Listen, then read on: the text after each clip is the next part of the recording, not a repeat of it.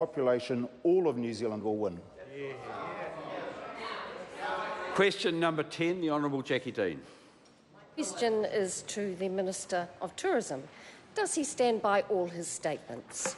Um, yes, in the context they were given. Supplementary to the Minister. Does he stand by his opening statement to the Tourism Industry Association conference, where he said that his government's program, outlined in the speech from the throne, is ambitious? Yes. How can then the ministry, minister have confidence in his government when there were no references at all to tourism in the speech from the throne? Oh, Mr. Speaker, we can be we can be very confident, and it's still early days. I'm keen to hear the views of the tourism sector on the key challenges and opportunities for the tourism sector so that we can work together to address them. Supplementary to the Minister. How does he expect tourism to maintain the highest standard of service to our guests if his government's stated policy is going to reduce the number of overseas workers available to work in tourism? Speaker, skilled labour is a key challenge for the tourism sector. I'm keen to hear the views of the people uh, in the sector so we, we can work together to address that challenge. Point of order, Mr Speaker.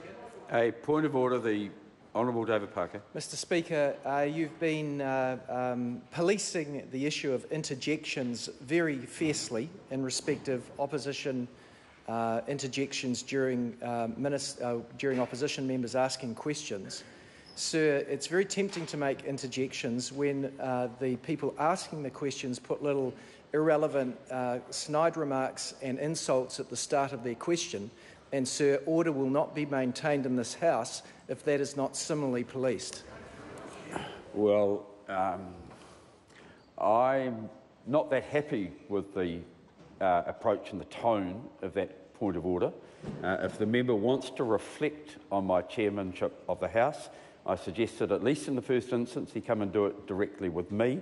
Uh, I am trying to be even-handed, um, but uh, I think it's fair to say that not all of the answers uh, that have been received have also been within standing order. Look, if I no, if I interfered on every occasion, a question or an answer was out of order, would be here till about five o'clock on questions.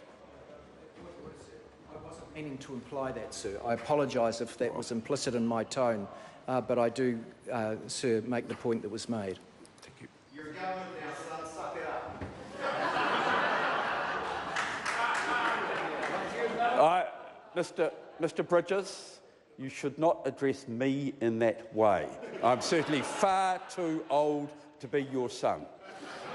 I'll, I'll withdraw and apologise. Very good. Right. Question number 11, Mark Pat. Oh, sorry. Hamish Ward. How many tourism operators has he spoken to in Queenstown about how hard it is to find New Zealanders to fill tourism roles? The Speaker, in the uh, three weeks that we've been government, I haven't been down to Queenstown yet. Question number 11, Mark Patterson. Mr Speaker, to the Minister of Research, Science and Innovation.